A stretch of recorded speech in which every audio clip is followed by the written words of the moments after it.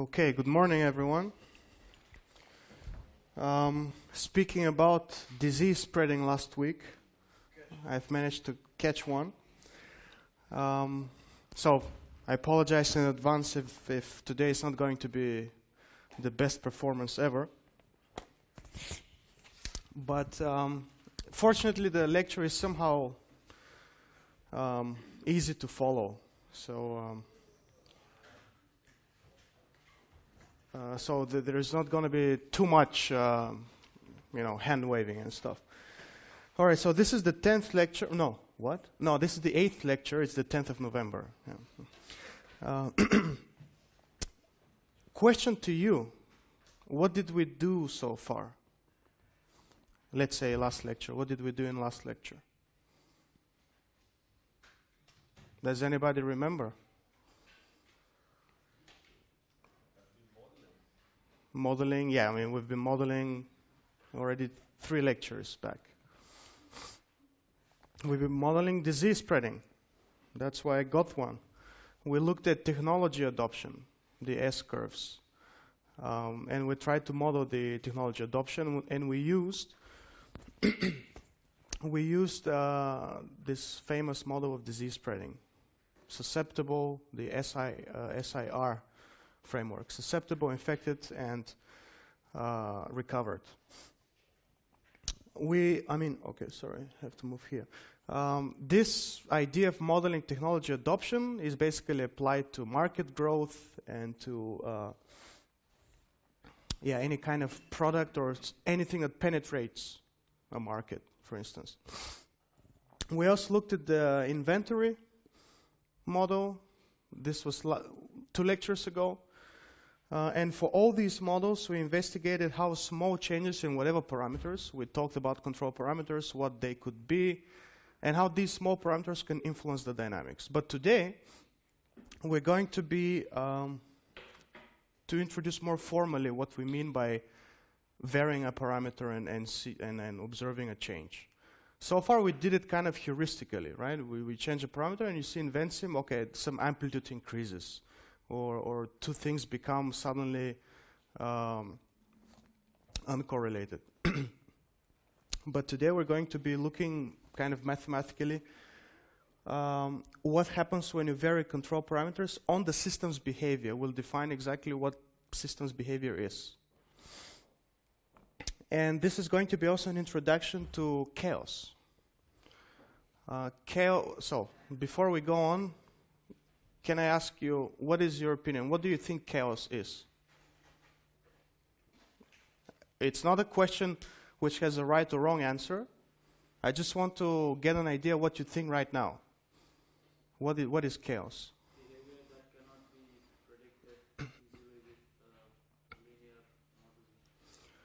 This is kind of close. Um, can you put some time frames? Like cannot be predicted and we need a time frame here. In the short term, in the long term, never. behavior in the long term cannot be predicted based on the Okay, yes. in a specific time. This is, this is one of the components. It's a necessary but not sufficient component of chaos, but it's true. So we'll look at chaos, what exactly it is. Uh, there is a strict definition, kind of, of what chaos is from a mathematical point of view. It's not the same as you see in popular books or movies, uh, you know, butterfly effect and stuff like that. All right. so let's let's get down to it. Role of control parameters. Um, I will introduce a few basic notions first about what is a dynamical system and um, what kind of things we're interested in in a dynamical system. What we're interested in is this basically.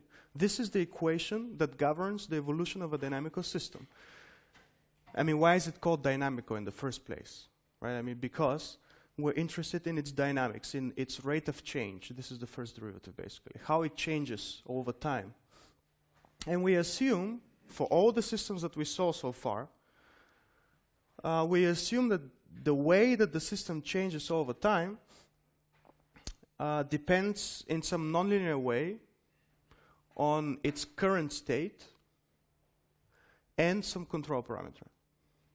Now this is, this is our control parameter. Uh, of course, I mean, this, this could be a vector of control parameters. It doesn't have to be one. It could be many. But things get more complicated, especially if you try to plot the phase plot, the, the phase space of, of a system with, I mean, three control parameters. You can't do it. You need four-dimensional picture. Um, all right, and when you when you have a figure like this, right? So this is the current state of the system, and that is the way that the system changes. And let's say this is the nonlinear function, all right? What are the points of interest if you look at this, this figure? What are the points of interest? For nonlinear dynamics, the points of interest are the points where the system is stationary, so it doesn't change anymore. When would the system stop changing? Well, obviously when the first derivative is zero, when its rate of change is zero. So this point here, this point here, and this point here. These, call, uh, these points are called stationary points. ST, this, this here. It's not stable, it's stationary. Or it's also called equilibrium points. Mind you, we, make no, no um, uh, statements about the stability of these equilibrium points. We'll investigate how to, um, how to find that out. But for now, these are equilibrium points. And the number of equilibrium points and their stability depend on the control parameter. Okay?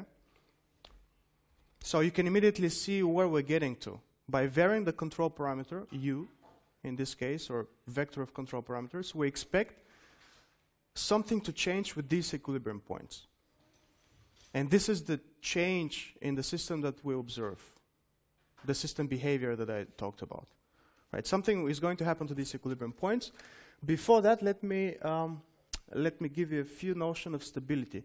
Even without introducing any mathematical uh, treatment for finding stability, let's look at this point here.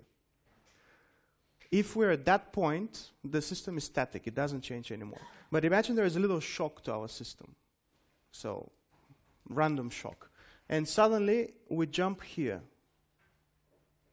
Whoa. We jump right here, okay? What happens then? What would happen in the next few time periods?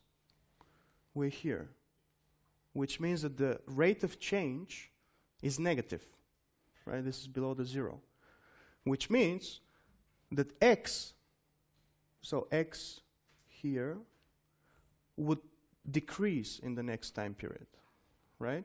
So we will be kind of pushed here, but because of this dynamics, we'll go back to our original position at zero. The same thing, if we're pushed up there, the rate, of, the rate of change is positive, which means that x, your state variable x, would increase in the next time period. So we'll be pushed again back to zero. So even you know by by looking at the the way that the nonlinear function f crosses the, the x-axis, you can kind of intuitively guess whether the point is stable or not. And this is actually what uh, how stability is defined. Small random shocks die out. They don't get amplified, they die out. And this is what happens here. We go back here. And as an exercise for you, even now, uh, you can apply the same logic to that point not to that point because we don't know what happens here, but to that point. And you find out that it's actually unstable because any small random shock would completely drive us away from this equilibrium point. All right. how can we model such systems? Or how can we kind of represent these systems? How many of you are physicists here? Mathematicians? Has anyone heard of the gradient system? Gradient system? No, okay. Well, you don't need to. The point is the following. Um, we assume, let's go back here.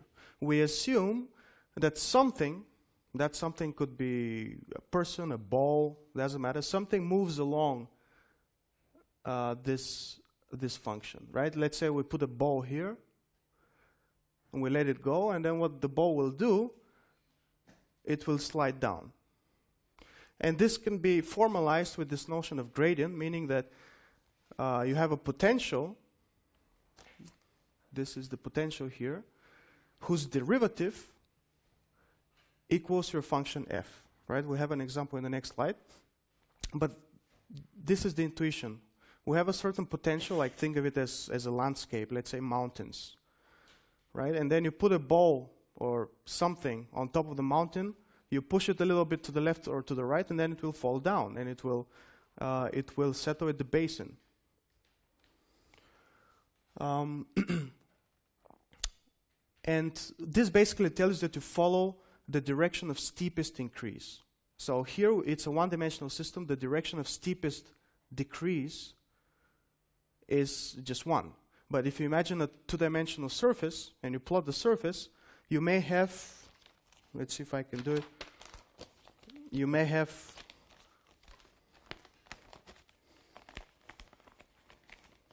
something like this, for instance. Therefore, the direction of steepest increase will have to be calculated by um, a vector sum, right? So you have x and y direction. You calculate the steepest increase in the x direction, the steepest increase in the y direction. You sum up the two vectors and you get the direction that you actually go to. So this is the, the, the whole idea behind gradient system. You follow the direction of steepest increase, uh, decrease, sorry. Okay. Um, what we're interested in, let me go back here. as I said, are equilibrium points. And we can find the equilibrium points by just looking at the potential, looking at the landscape that our object moves, uh, moves on. And if we have a minimum of the landscape, so imagine a mountain and like we have like this, this is the mountain, and here down there we have a basin. This is the mi a minimum, local minimum of, of our potential. That would be a stable point. The maximum of our potential would be very unstable. Again, unstable doesn't mean that you will always, that you will never stay at this point. No, you will stay at this point forever. But if you're randomly perturbed, you will drift away from that point. All right. and um, this is the idea now. When you vary the control parameter, just a little bit continuously, that's important. You vary the control parameter continuously, what you get often is that the number of equilibri equilibrium points changes. So from three, you suddenly, and suddenly really means suddenly, it's discontinuous process. Suddenly you get one, for instance, or you get five. Also, the number of equilibrium points may remain the same, but their stability may change suddenly again. And this is what is referred to as uh, the catastrophe theory, uh, introduced by this guy, René Thom. Um, so basically, he looked at this process as a kind of a catastrophe that occurs in our system. New stable states are generated suddenly or destroyed suddenly. And their stability also changes in this way.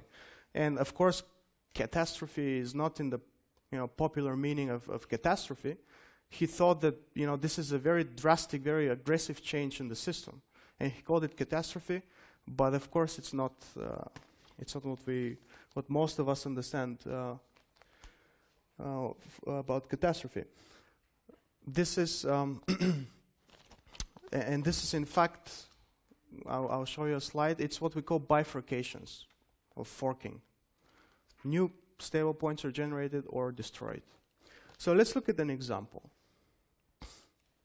about this gradient system and moving on a potential. We have a potential function, which is this one. All right. Now, if you plot it, if you plot this, uh, if you plot this function, assuming that u2 is zero, so your second control par parameter for now is zero. Uh, what you get is this. This is the red dashed line, and this is plotted, I believe, for u1 equal to minus 50. So this is u1 equal to minus 50. This is, the next one is, yes, u1 equal to 50. Okay? So this is how your potential looks like for two different values of u1.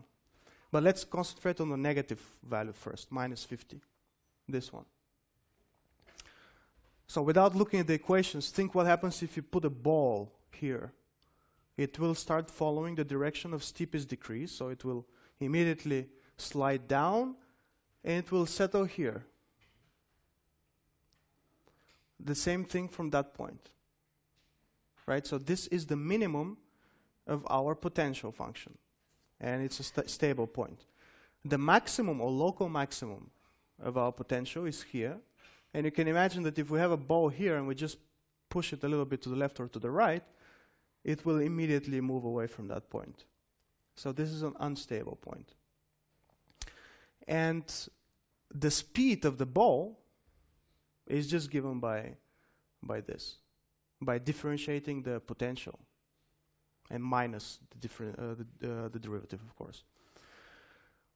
Okay, but now let's see what happens. So, right, we have one, two stable points and one unstable. So we have three uh, equilibrium points or stationary points, two of which are stable, one of which is unstable. All right? And now we plot the same thing for u1 equal to 50. So we vary our parameter to 50. It's not a continuous change, as I mentioned. It's kind of a sudden change. We immediately uh, change its value from minus 50 to 50, but what happens is this. All right? now suddenly we only have one stationary point, right, where the, uh, the derivative is zero here. And it's a stable point because this is a local, it's in fact a global minimum for the potential. So you see what happened. From three stationary points, two stable, one unstable, we ended up with one, one stable stationary point. And that is uh, what essentially is meant by bifurcation or catastrophe. We're going to work a lot with these kind of diagrams. Are they familiar to you? Has anybody seen such a diagram before? One, two, all right, three. So, okay, this needs some explanation. What we're interested in, in fact, is to categorize what happens to the system precisely as we vary the control parameter. Okay? What happens to the stationary points as we vary the control parameter? So naturally you might think, well, we have to plot the control parameter versus the stationary points. And this is what's, what's, what's plotted here. This is minus u1, all right? It's minus You want to make things more interesting. Basically, so that this can look like a pitchfork. You, you'll see. Uh, you'll see why. I mean, it looks like a pitchfork, really.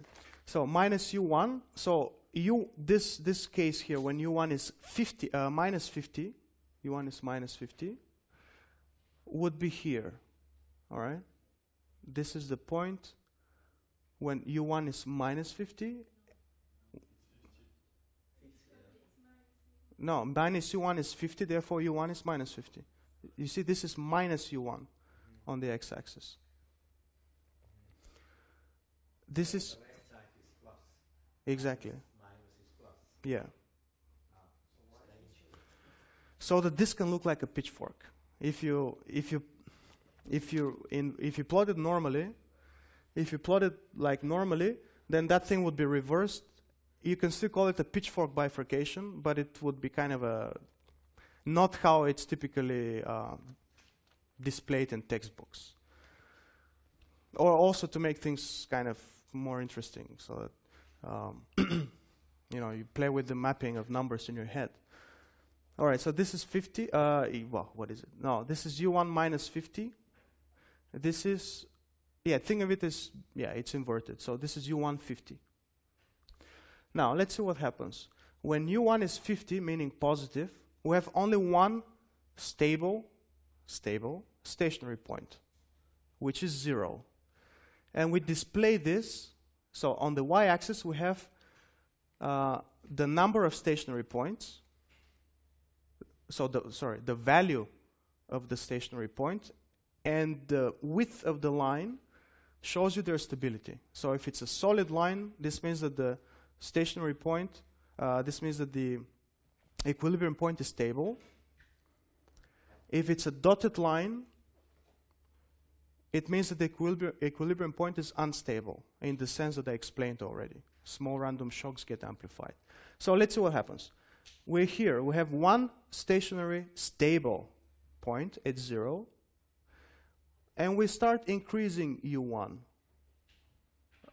Uh, sorry, we start decreasing U1 from 50, 40, 30, 20, 1, nothing changes. Of course, the shape of this thing would change, right? But the stable stationary point is still going to be at 0. Suddenly, at u1 equal to 0, something happens to the system. Look, this is a discontinuous, pro discontinuous process.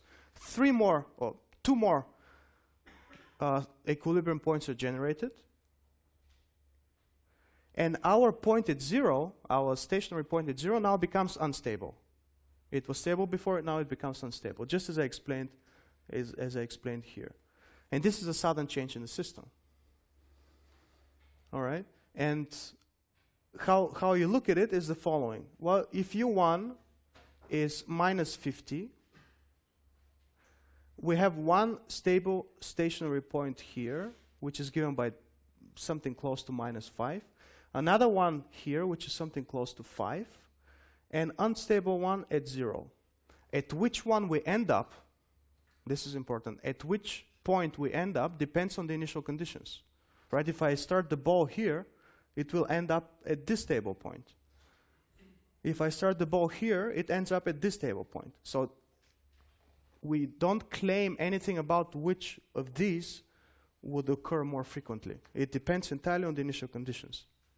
And of course, you can calculate you can calculate this uh, these stationary points. In in the if in case you're wondering why it looks like like this, right? Like this. Uh, the reason is is very simple in fact.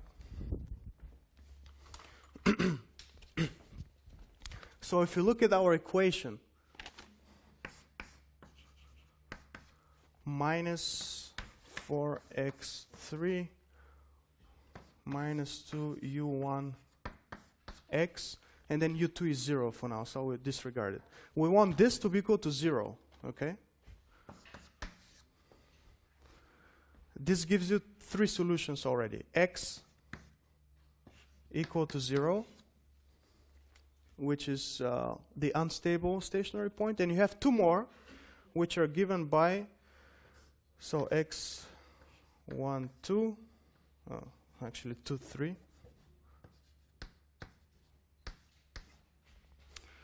Uh, these would be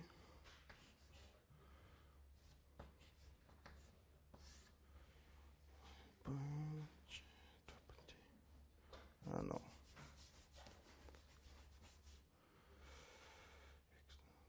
Yes.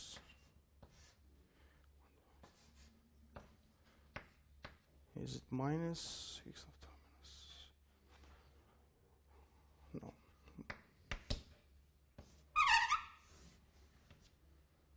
by this.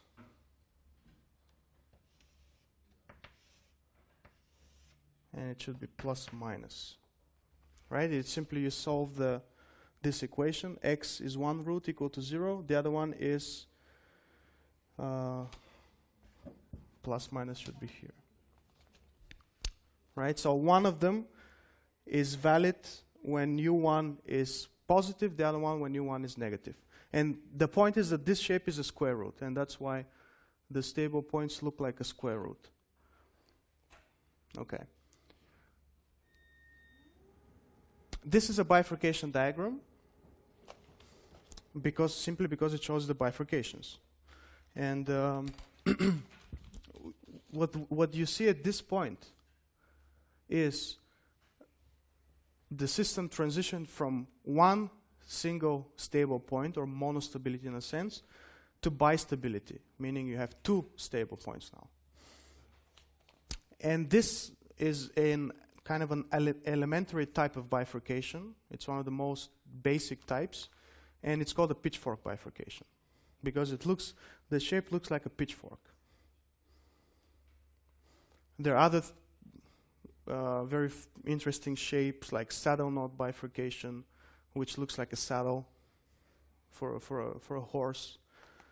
Um, so yeah, it's it's quite um, quite basic. Now, this is also an interesting point: the application to decision processes. Um, so imagine, for instance, you have u, your control parameter u1 is, let's say, the size of the population, the size of some population. So if the size is small, it's very easy for the population to reach consensus. So one stable point. But as you increase the size of the population, what actually what you observe, what people have obs observed in real life, is that suddenly there is a polarization of opinions, right? Two left or right fraction or conservative, liberal, doesn't matter what, two opposing opinions emerge. And people have hypothesized that this, that a process like this is behind that, with u being the control parameter, the size of the population.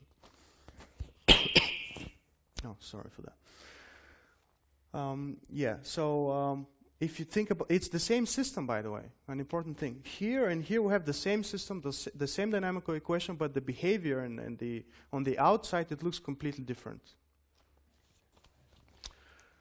Uh, now this is a little bit more intuition about what a bifurcation is. It's simply a forking, one solution into two. And in this figure you have one stable solution being forked into two stable solutions. Okay. and yes, an, an, important thing to mention uh, is that all these solutions are real.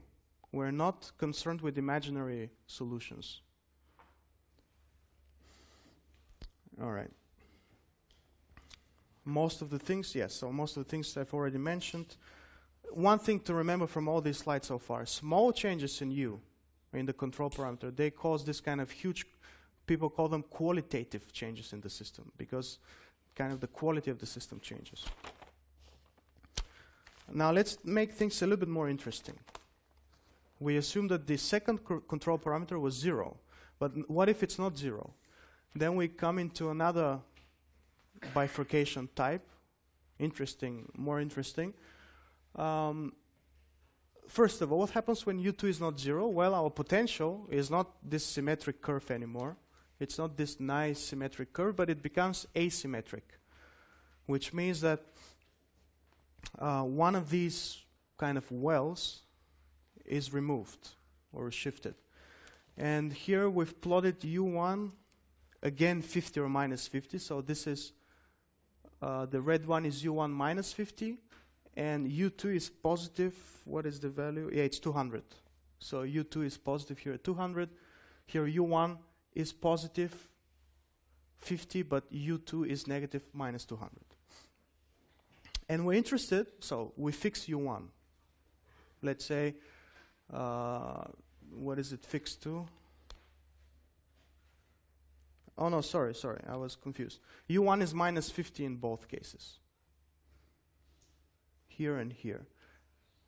We fix one control parameter and we start to vary the second one, which is U2. So what happens? Don't look at the bifurcation diagram yet. Let's say we start from this point.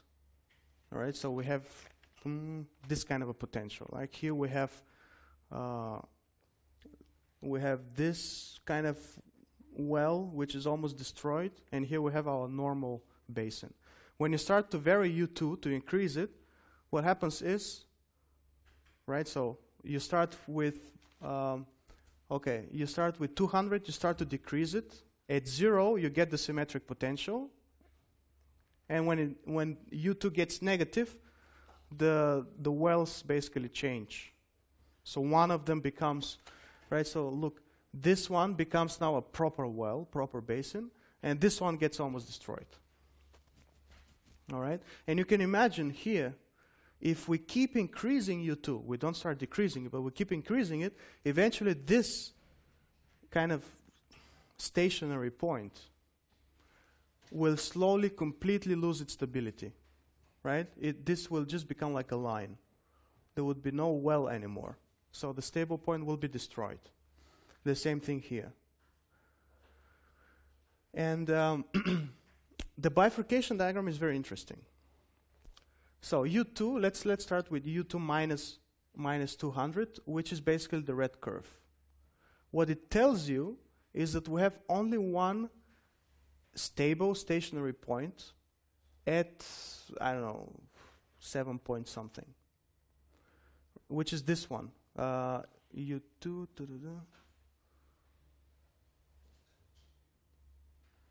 Oh, okay, so we're looking at the, at the black curve.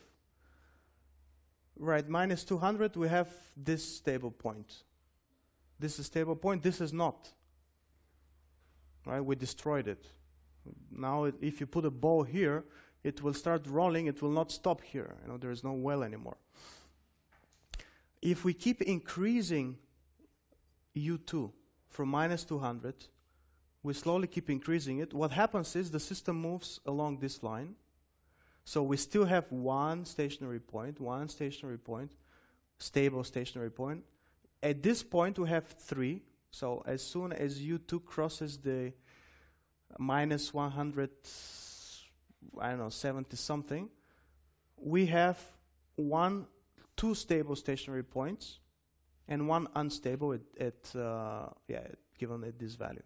So what happens is we start here and we start increasing U2. So we have no well here, we destroyed it. We have a well here. When we keep increasing U2, we'll form, we'll slowly form a well at this point. This thing will get a little bit destroyed, the other one, but it would still be kind of a, uh, a well, right? So it, it could still be stable if you plot, I mean, if, if you plot this function with minus 100, for instance, you would see that you have two wells. One of them is bigger than the other one, certainly, but they're still wells, stable points, and at zero we have an unstable point. Right, so here, as we keep increasing U2, now this is the funny thing which happens. Imagine we're at this point, right? We keep increasing U2, we have one stable point, one, one, one, three equilibrium points, three, three, three, three, and suddenly the system jumps from here, here, and moves in this direction. So from three, here we have three. At this particular point where the solid line and the dashed line kind of touch each other, these two points annihilate each other. So that solution this well and the zero kind of annihilate, annihilate each other and they disappear. And we're left with only one stable stationary point here. Now, the interesting thing comes now. What happens if we start from this point? Remember, we varied U2 and we, go, we went like this. Here and then we jumped here. If we start, if we start varying U2 from here and we start decreasing it, we move like this, at this point you would expect to jump back here, right? Because when we swept the whole thing from left to right, we did it. But when, we when you sweep it from right to left, you don't jump back here, but you keep going in the same way and then jump back here. And this is called the hysteresis effect right? Because going from left to right is not the same as going from right to left. And you can imagine, so there is this book given uh, in the notes by Erich Jantsch. It's a very nice book, um, The Self-Organizing Universe, and it's really a pity that it's almost out of print because it's, uh, I got it from the library, but it's a very intuitive book, I would say. There is not incredible amounts of mathematics there. But what he says is, well, that this hysteresis effect could be uh, could model the so-called hawk and dove populations. What this means is the following: we have, or let's let me first give you another analogy: the angry dog analogy. So you have a dog, and you try to stress the dog. So I'm not saying I did it. You probably should never do it also but in case, um, yeah, just think about it. So you start stressing the dog somehow, right? Let's say here. And you start stressing the dog, the dog maybe doesn't respond too aggressively. It kind of barks a little bit, backs, backs into, into a corner, but nothing particular happens to the dog. So you start stressing it, stressing it, stressing it, and it, and here at this point, uh, so after the stress that you apply to the dog passes a certain boundary, and this boundary is given here, then the dog goes completely berserk, goes crazy, right? So it's kind of a the, the dog jumps from here to here, so the behavior completely changes. And now, if you start decreasing the stress, it is not the case that when you decrease the stress here, so imagine you increase the stress up to here and the dog is really crazy. Now you start decreasing the stress. It's not the case that when you go back to that value, the dog would become calm again. No, you have to decrease the stress more here in order for the dog to become calm. This is the hysteresis effect or the memory effect. The dog somehow remembers, uh, has some kind of residual memory, so that you need to, to do more work in order to eliminate this memory and go back to the calm state. And the Hawk Dove uh, example is similar um, in the sense that we have a country which, for whatever reasons, wants to invade another country. We had this happening, at least in my lifetime, a couple of times. And um, imagine the population is split in two fractions, hawk and doves, and doves, basically. The hawks, they want to attack national security issues, all this kind of stuff, weapons of mass destruction, doesn't matter. And the doves, they just want to, you know, have, want to have peace, they don't want any war. Right? So imagine this state, for instance, corresponds to a population where you have a lot of doves and just a few hawks. Right? So the country as a whole will not go to war because most people don't want to. But then, due to some external influence, maybe media effect, maybe propaganda from the government, who knows. Um, the population of doves start to slowly decrease and the population of hawks start to increase. At this point, when the amount of, let's say, media propaganda has become too high, suddenly the country goes to war. Suddenly what happens is the population of hawks just explode. So they become a lot, and the doves they become very little. Now, if you start decreasing the media influence, again, as in the case with the angry dog, it's not the case that coming back to that point would bring the things to normal. So hawks would decrease, doves would increase. No, you have to decrease the influence a lot more so that your population returns in a calm state as before. The idea is memory effect. So these systems have memory. You apply certain force from one direction, from left to right in this case, but then when you start removing this force, the system remembers there is a residual force left into the system, which you have to basically counteract with even uh, with with more counterforce. That's the whole idea. And this happened only when we allowed for two control parameters. Now a very simple system. This, in fact, is called um, cusp bifurcation. And in three dimensions, it looks like this. Right? So these are the two control parameters, and these are the stable points. So see, here we have just one stable point. Here. But this is exactly this thing is exactly what I showed you here. So now imagine we put a ball on top and you push it a little bit to start rolling. Actually, you don't even need to push it a bit because this is, uh, uh, this is not the equilibrium point. What the ball will do, it will start sliding, sliding, and then suddenly jump here. Right? Just as I told you. Like the ball slides, slides, and then jumps here. This is the cusp bifurcation. And you see by varying the U1 now, we can decrease this range. Right? We can decrease this, uh, this, this range. So this thing, the, the, the dotted line becomes compressed, more compressed and compressed. And in fact here, uh, we almost have a singularity. And beyond that, it disappears, this effect. So this is the, another very famous bifurcation. It's called the cusp bifurcation. And these are the only two bifurcations that we'll be dealing with. All right. Now, so far so good. can you tell me how much time is left until the break? Because this display is broken. Five minutes. All right, so we'll have time for, for one more slide. I have a question for you now. So far, we've only seen systems in continuous time, right? This was uh, x dot, the dynamics was given in continuous time. Uh, the S curve technology adoption from last time, it was again continuous time. Um, but of course, in real life, most systems are what what are they? Yes, they are discrete. Why?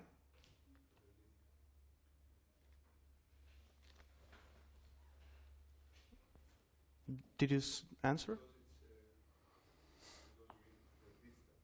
Because?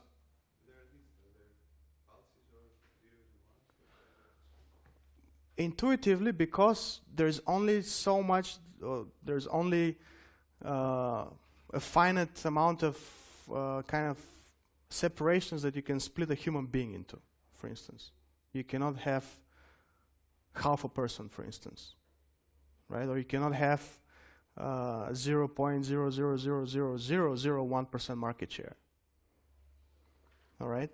Uh, so basically, yes, in most in most cases, the real life systems are discrete.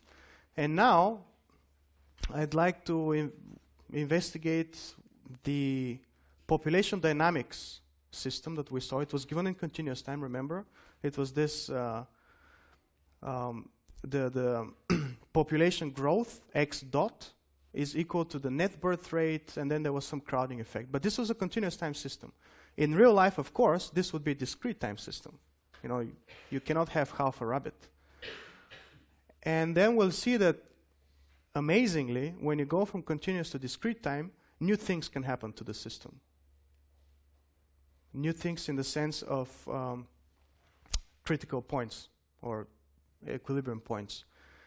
And in the um, end of the lecture, you'll find out that chaos can occur in a discrete system, but not in its continuous counterpart, which is a curious thing to know, because depending on how you model your problem, you know, if you model your problem in a continuous way, uh, you lose an important ingredient. And in fact, when you write, especially in academia, when you write papers and you propose models, people are very sensitive to why you chose to model continuous system and not discrete system.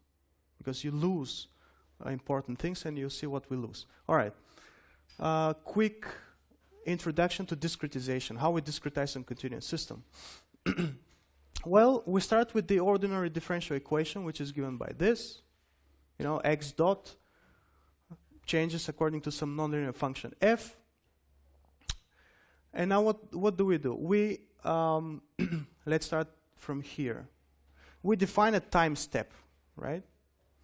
So continuous means, um, in theory, continuous means that at infinitely small time steps, the system is defined. But of course, we cannot have infinitely small time steps. We have a finitely small time step.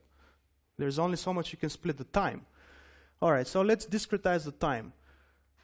Let's say t0 is the first time step that our system is defined. t1 is the next smallest time step that we can define.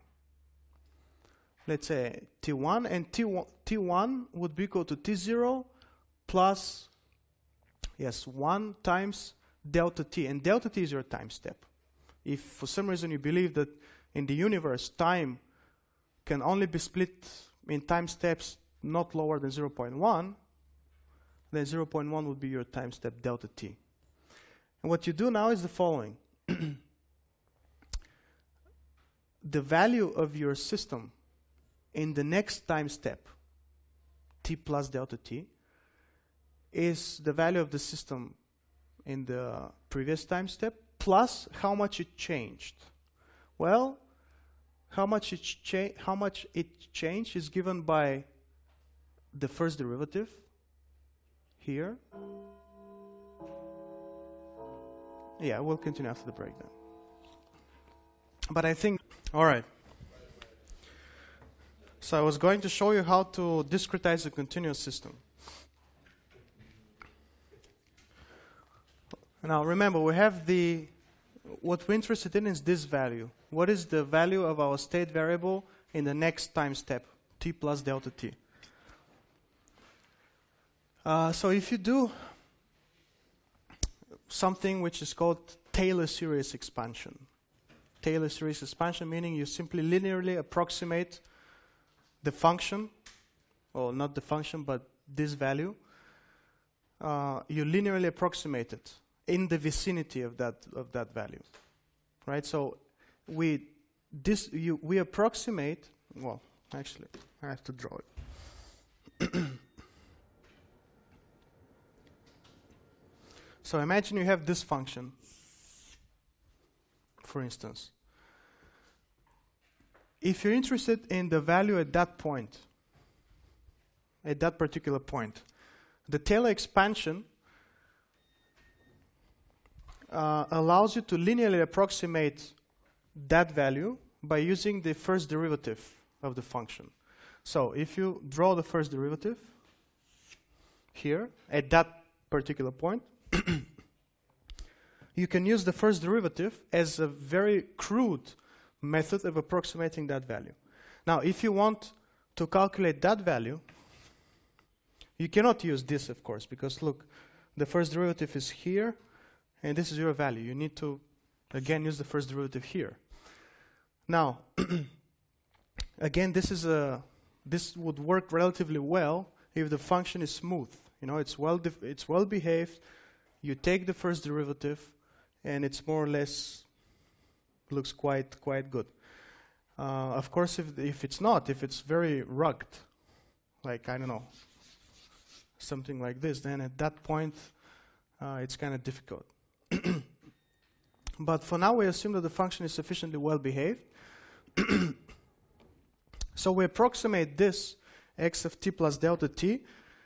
We expand it, in other words, we do the Taylor series expansion around t, around this point t.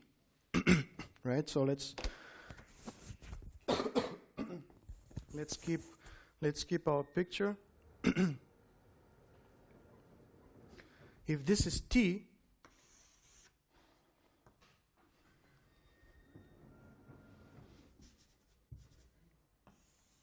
this is our t. We're interested what happens at t plus delta t, and delta t is very small. Let's say here. This is delta t. You can't see it properly. Right? Delta t is here. so you can say, well, I can still use this first derivative at point t to approximate that point here, right? It won't be very accurate, but for a sufficiently well-behaved function like this one, it's kind of closed, you see? the actual value and the first derivative are kind of close to each other. so we can use this.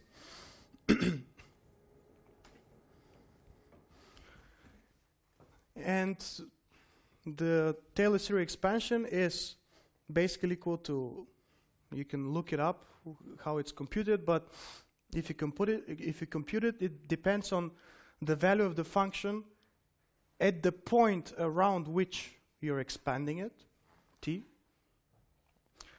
plus the first derivative, so this thing, uh, times delta t. And then here we have higher order terms. So if you want to take higher derivatives, not just the first, but maybe the second and so on, uh, you can do it to make it more accurate approximation. But if delta t is sufficiently small, then delta t squared would be even smaller, so we can safely ignore that term. The error would not be that big. But what is this? it's basically, now if you assume that delta t is 1, we have that x of t plus 1 in the next time period is equal to x of t plus the first derivative. And this is called the Euler integration method. If you numerically integrate this, using the Euler method, this is the Euler method. It doesn't work for exponential functions, so don't use it. If you have an exponential function, so uh,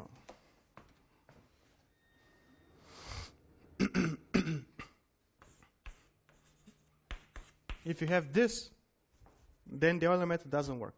It will work uh, if you have very, very, very small time step, like very small, 0.001 for instance. Because the error is just too big. You only take the first derivative. And you know the exponential grows really fast, right? So if you um,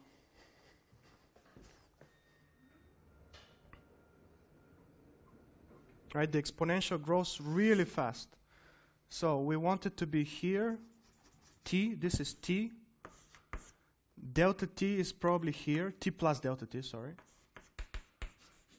But since this is an exponential, these two points would be very different. You know how the exponential is, right? You increase the x by a little bit, and then the value of the exponential changes significantly. So these two points would not be that close as you think, which means that either this distance has to be very small, meaning delta t has to be very small, or you have to use a different integration method. Runge-Kutta, for instance, is, is a good one. But this is how we discretize a continuous system. It's very simple. What happens in the next time step is the sum of what happened in the previous time step plus the derivative, plus how it changed. Right? This is where I was in the past plus what I did to get from the past to the future. All right. And as I mentioned, doing this discretization, even if you do it properly, uh, can introduce new behavior, in particular chaos. We'll look at that. oh, sorry. Now let's look at the population growth from uh, fifth lecture, I believe. Remember, um, oh, by the way, this is n dot. Please mark it in your slides, n dot. So the rate of change of the population. The rate of change of the population, or I think it was the rabbits at that point, there is a birth rate, right? And there is a crowding effect. You remember this. I think the, the parameters were named differently, but the idea is still the same. We have some birth rate, but eventually the influence of the finite, uh, the finite uh, environment would generate this kind of S or saturation behavior. So this was how our rabbits grew. And n here is, let's say, the number of rabbits, for instance. All right. and now you know how to actually calculate stationary points, right? We did it for the rabbits. It was either 0 or k over m, but now you know how to do it, right? You just set this to 0. This is when the population doesn't change anymore. And obviously n equal to 0 is one solution. The other one, since this is a, a quadratic equation, the other one would be k over m. We haven't said anything about how these solutions are reached, right? Whether we reach the solution like this linearly, or it's kind of a saturation, or oscillations, and then we reach the solutions. That's not so important. The stable points. That's not so important. These are the stationary points. Okay. and we also use something like this to generate an S-curve. This is called the logistics growth. The logistics growth, um, and in fact, this is how, yeah, okay, you'll see that in the next few slides, but this is how bacteria grow. It can be shown that this is how bacteria, uh, bacteria grow. Well, let's discretize it now. um, so we, we just do some change of variables. t is now n, and we define xn to be this. We also, so what we want to do is to eliminate these parameters, k, m, and n. Because if you think about it, this is three control parameters. We just want one to simplify things. So by just redefining the variables, um, we define, right, so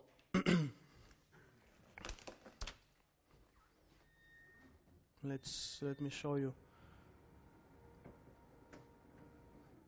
How, how do we get this?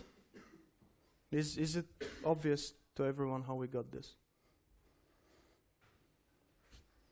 Remember, n of t plus 1 was equal to n of t plus the first derivative. But the first derivative is k times n of t minus m times n of t squared. Okay? Which is simply equal to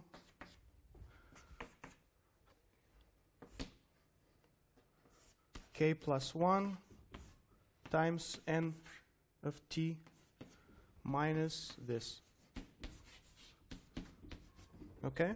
It's simply applying what, what we saw before. This is how we, we arrive to that equation. We define now k plus 1 to be equal to r, just to make the notation simpler. So we have one control parameter. We define xn to be this. And finally, this is our equation in discrete form, right? It's also called the recurrence equation, or yeah. So, does this look familiar? Has anybody seen something like this before? well, in in fact, this is what people call the logistics map from the logistics growth, we discretize the logistics growth, and we got the logistics map. And this, look, it's so simple. It looks very simple. It can generate amazingly complex patterns, and I'll show you this now. right, so logistics map is given here. Um, if you just look at how two subsequent values of x are related, well, they're related in a, by, in a quadratic way, right? So this is xn squared. Right, so if you plot xn versus xn plus 1, you see that xn plus 1 reaches, so the next value, reaches its maximum when xn is 1 half, right? So if this is 1 half, this is 1 half, times 1 half, 1 fourth r over 4. So the maximum value is given by r, r over 4. And if we increase xn, the subsequent value is, is lower, actually. So this is just how xn is related to xn plus 1. More interesting is this picture here. Let me explain you how we do it. This basically um, gives you a graphical intuition or graphical way of how that system would develop over time, how the xn would develop over time. So we start with some random x0, some initial condition, I don't know, x0. From x0, we calculate x1, okay, by this formula. We calculate x1. From x1, we calculate x2. From x2, we calculate x3. From x3, we calculate x4. From x4, we calculate x5, and so on. So you see that if you look at this progression of the x, it eventually reaches a stable point, which is given by x, xs. Sorry, stationary point. xs here.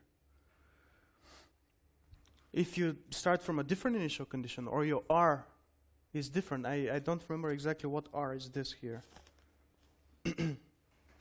But if your initial condition is different and R is also different, then you would get a different dynamics. You won't get this. This is a very nice stable behavior, right? The system converges to a value eventually. But this need not be the case. And you'll see that. All right, let's investigate now the role of the control parameter R. We only have one control parameter. so if R is between 0 and 1, what, what would that mean? R is between 0 and 1. Remember, we had K plus 1 is equal to r. Just without calculating any math. Just intuitively. k plus 1 equals to r. If r is between 0 and 1, this means that k is negative. But k is, was your birth rate. So if the birth rate is negative, the population dies out, and nothing happens. And that's why the stationary state is 0. there are no rabbits in our population. You don't need to plot anything if r is between 1 and 3, this is the stationary state. The stationary state is given by this value. So we slowly converge there. And this is a picture how we converge. So R is 2.8 is between 1 and 3. And we start with this initial condition, 0. Point, I don't know, some initial condition. We have some oscillations until we finally converge to our value 1 minus 1 over R. Is it clear how we calculated this? Wait a second. Yeah, this is the slide.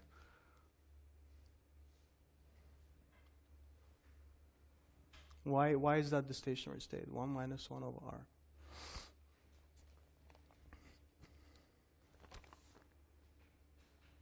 Hmm? Let's see now.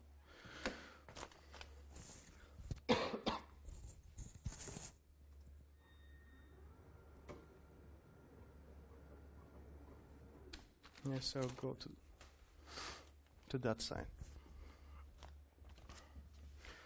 So what does it mean for a stationary state? What, what does a stationary state mean? Well, it means that if we have no random shocks, we don't push the system, it will stay there. Which means that xn plus 1, was it n the index? Yes. Would be equal to xn. Okay? You can even say this xn plus 2 would be equal to xn plus 1 to xn to xn minus 1 and so on right? Because the system will always stay at this stationary state forever, unless you uh, you shock it somehow. So we start with this, but xn plus 1 is also calculated by our recurrence equation, r times xn 1 minus xn. Okay? So we simply we simply make these two things equal. So r times x, uh, xn 1 minus xn is equal to xn. xn cancels, and you're left with the stationary state is there. Okay?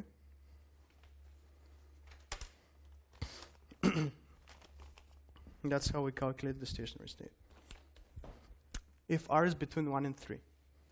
Now, why between 1 and 3? There is, it can be shown, but let's not, uh, let's not concern ourselves with this. It's not so important. When r is between 3 and 4, we have oscillations.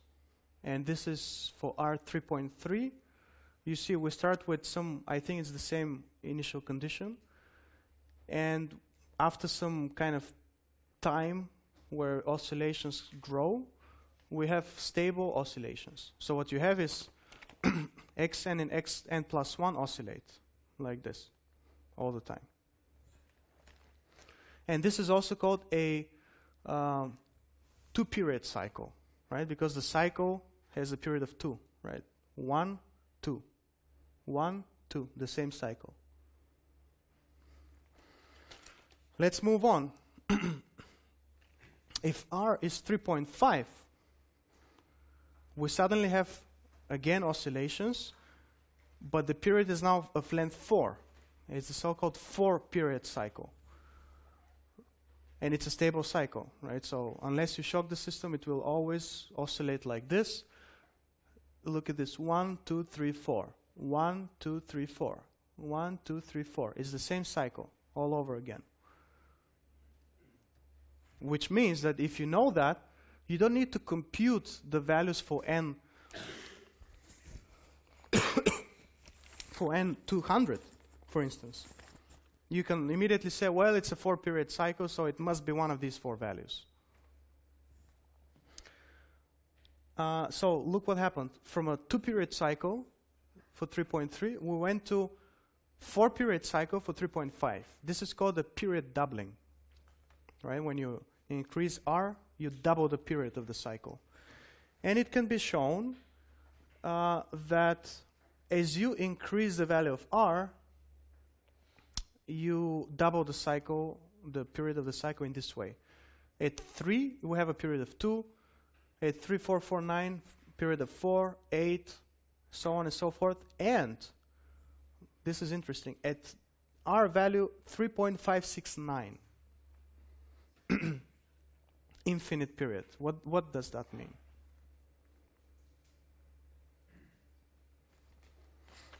Any intuition? Yes? No, on the contrary, there are oscillations, but the period of these oscillations is infinite. What does that mean? Yes? Yes, that is true. I yes, that that's how it would look like, but for reasons that will come apparent in the next two slides, I would not like to call them stochastic. Simply because, look, this dynamics is completely deterministic. There is no stochastic influence anywhere along the dynamics. And this is an, the amazing thing, actually. This is a completely deterministic dynamics, and yet you get infinite, a cycle of infinite length. So um, this is actually what we refer to as, as chaos. Right, so this was it. Yes, so 3.9. uh, when r is bigger than 3.57, um, yes, so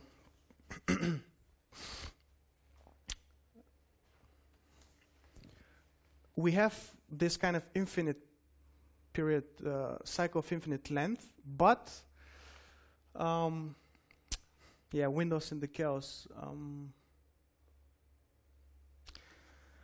I have to show you the bifurcation diagram for you to understand that. For now, don't think about the windows in the chaos. just, just um, think of this. This is R 3.9. This is an infinite period of infinite uh, length. So the cycle has infinite length. There is no period basically. You can't find a pattern here. Um, when r is equal to 4 and larger, is it larger? Yes. Then you have fully developed chaos. We'll find out what fully developed chaos means. Basically, we distinguish between fully developed chaos and chaos with windows. And it becomes more apparent when I show you the bifurcation diagram. But for now, uh, look at this. So this is cycle of infinite length. And if you remember that very nice picture that I showed in the beginning, we start with some value here, and we basically move randomly around this map. Right? There is no no fixed pattern. Now, this is the bifurcation diagram. this is R and this is X. It's slightly different from the bifurcation diagram that I showed you before. And at least when I was uh, when I came across this, it confused me a lot. Because remember, the bifurcation diagram shows you the stationary points. All right, if you remember our nice bifurcation diagram, one stable point, one stable point. The system can never be at these two stable points at the same time. It can only be at one.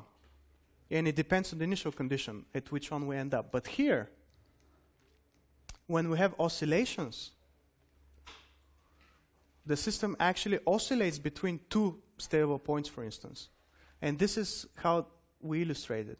We have two stable points, for instance, here and here. But it's not like before, where only one of them can be, uh, the system can be at only one of them at any given time. No, we oscillate around these two points. And that's why this is not x stationary, but it's just x.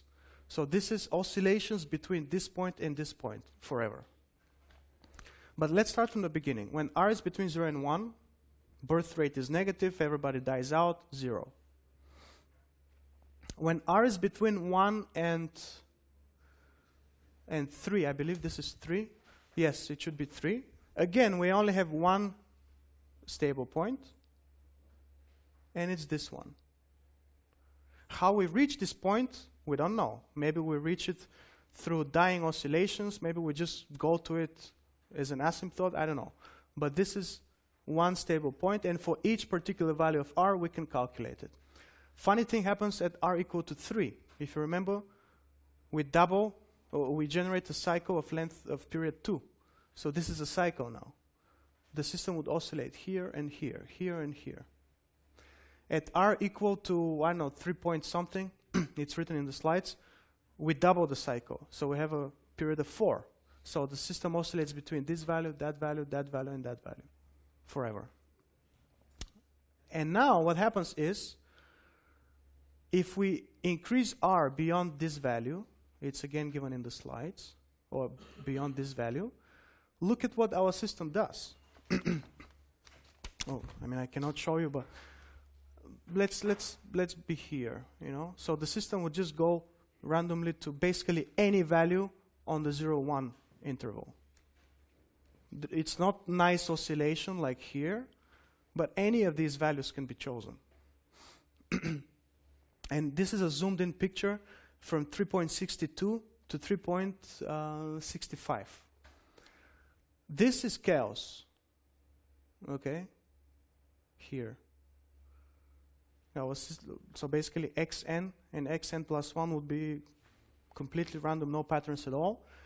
But suddenly, as you keep increasing r, the picture changes again. So from chaotic regime, we get to something which is 1, 2, 3, 4, 5. It's a period of 5. Right? So it's an oscillation, and there are five, period, uh, five stable points. This one, that one, that one, that one, that one. So the system would oscillate between five values. This is called a window in, a in chaos. So we have a chaos, and then we have kind of, it looks like a window, right? As we keep increasing R, we go back to a chaotic regime where any value on the 0 1 interval can be chosen. Here we have another window, very small, but yet another window with 1, 2, 3, uh, what is it, 4, 5, 6, 7, 8, period of 8. And beyond that value, we only have chaos, or in other words, fully developed chaos. This was the meaning of a fully developed chaos. There are no windows anymore. All right. Uh, well, people have studied the logistics map for good 30 years, and uh, it can somehow be shown mathematically, even analytically. I mean, you don't need to compute forever. That's that's the point. All right. By the way, if you look at the book, it's given in the notes. Um, slide 11. It's the Strogatz book. It's it's really good.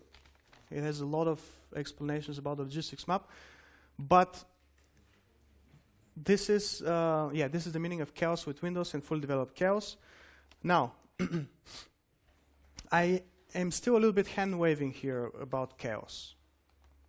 Probably still you don't have any idea what chaos is. Yes, we have no pattern emerging, but an important thing is that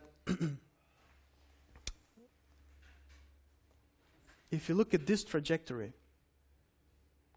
for instance, we start with x, let's say we start with some x0, some initial value.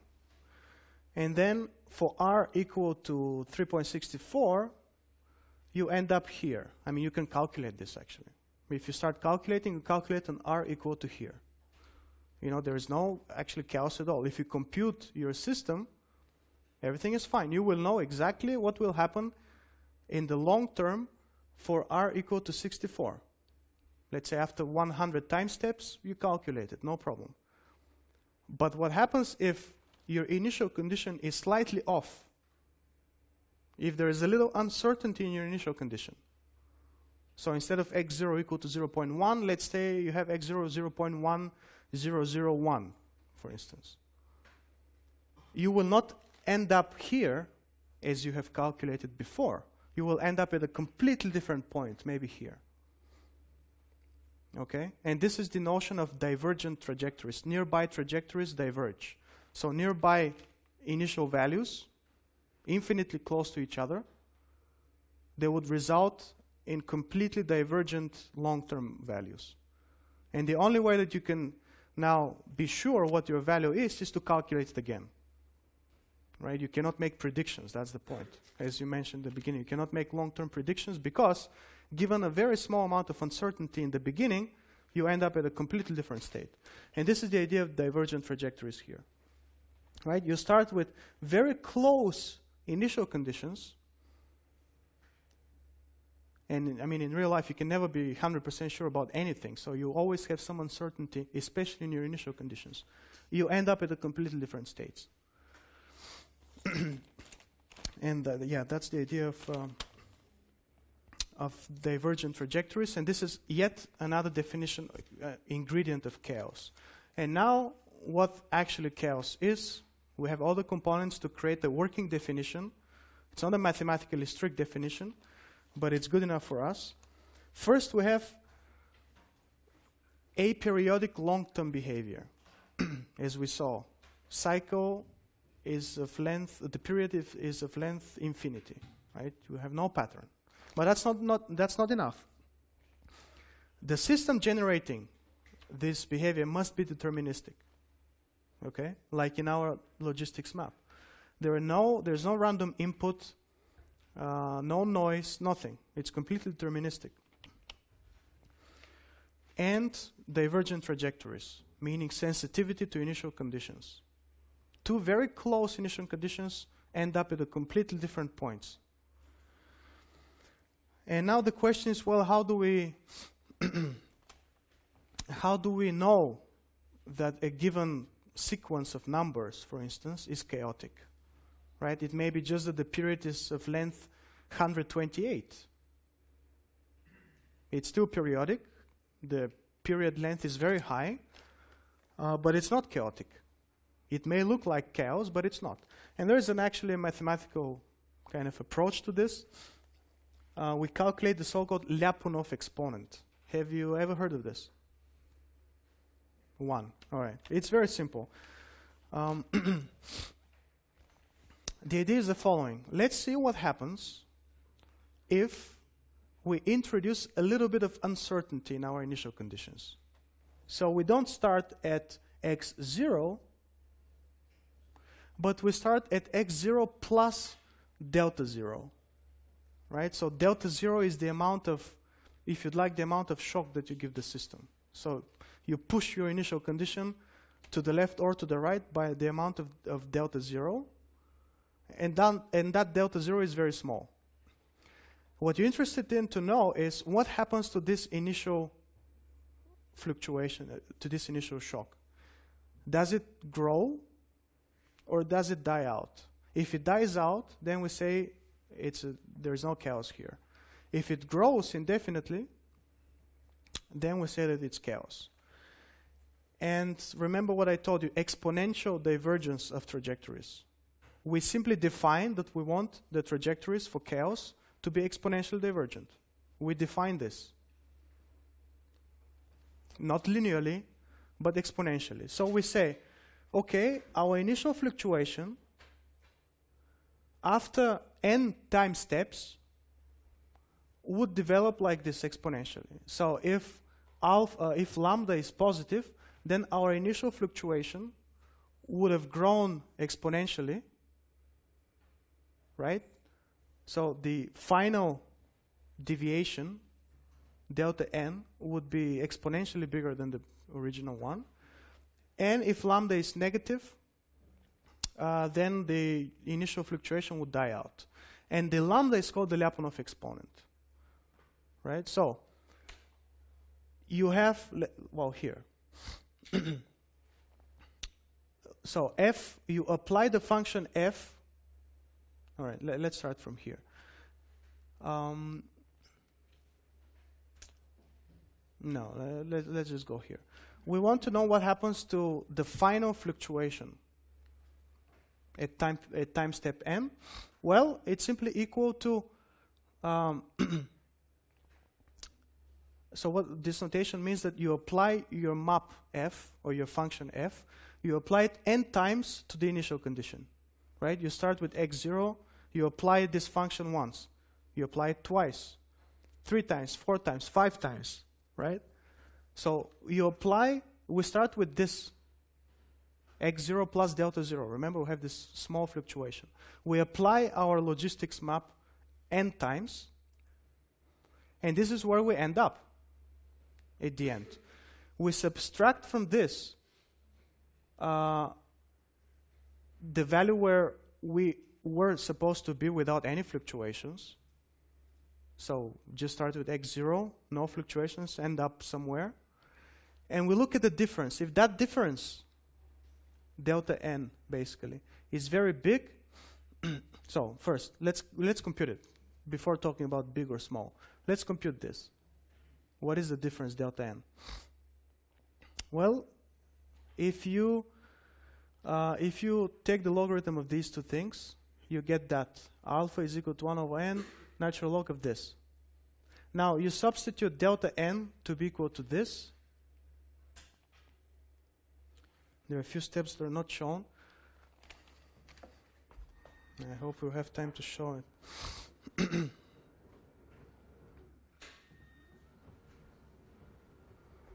All right. so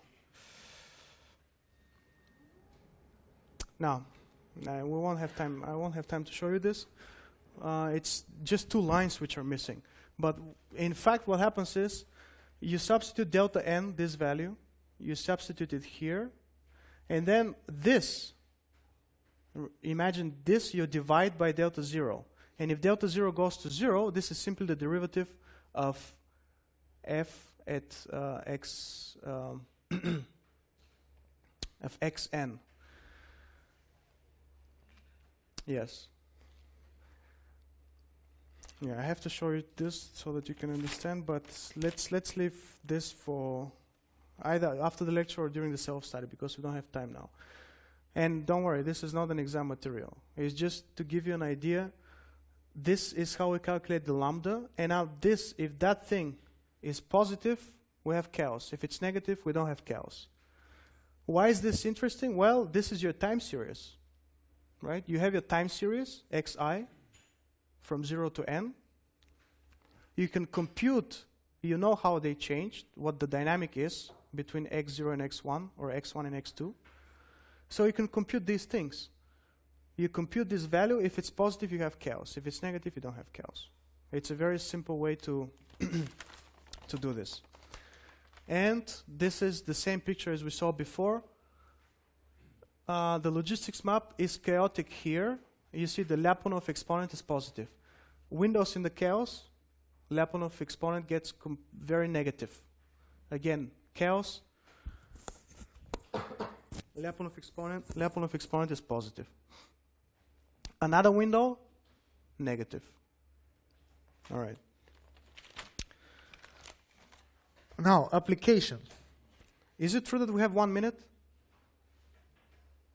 left? Five. Okay, that's good. That's good. So, we have a manufacturing system. This is an example of, of chaos in a manufacturing system. Um, I talked about this in the in the beginning of the course.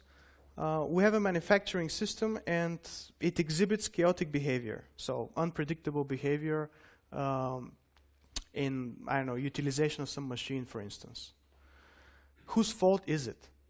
Is it the manager who is not creating the proper processes, or is it just the property of the system itself? This is an example now, in the to the, the end of the lecture, where uh, we'll see that it is a it could be the property of the system itself. So we model our manufacturing system in the following way. By the way, I forgot to print this slide, so I have to. I don't have a handout. We model the manufacturing system in the following way. We create the notion of a buffer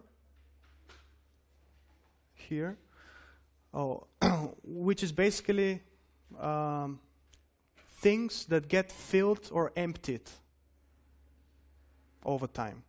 Right? You can model a lot of manufacturing, uh, real manufacturing entities like this. For instance, a manufacturing line which on which some parts flow. You can model this as a buffer which is which needs to be full at all times. Right? The manufacturing line has to be full or occupied the whole time. Otherwise, it's underutilized. So we kind of abstract a real manufacturing system with the notion of this kind of buffers, right? So we have buffers. They could be emptied or filled, and they could be emptied or filled just by one entity. So we cannot empty or fill them in parallel together, but we uh, just one entity has to go to each buffer and empty it, for instance. Right? So one person has to go to each line and do something. And this is the our setup. Uh, we have these buffers. Uh, we don't want our buffers to get overfill, overfull or to be empty. So you don't want parts to be falling off from your production line because it's too full, but you also don't want this line to be empty. Uh, and the question is, what is the optimal strategy for someone, a person for instance, who goes around and services each buffer, each line? this is not important. Um, this, well, so this is, um, these are two different ways to look into the problem. I mean, that slide is simply explanation of these pictures. We can have these buffers, which are filled by some independently by rates of uh, lambda 1, lambda 2, and so on, but they're emptied by one person. In this, case, in this uh, example, it's not a person, obviously, it's kind of a machine which goes to each buffer and empties it when it gets full. We don't want the buffers to be, to be overflowing. And this is the so-called server. This, this thing is the server, which goes around each buffer and empties them.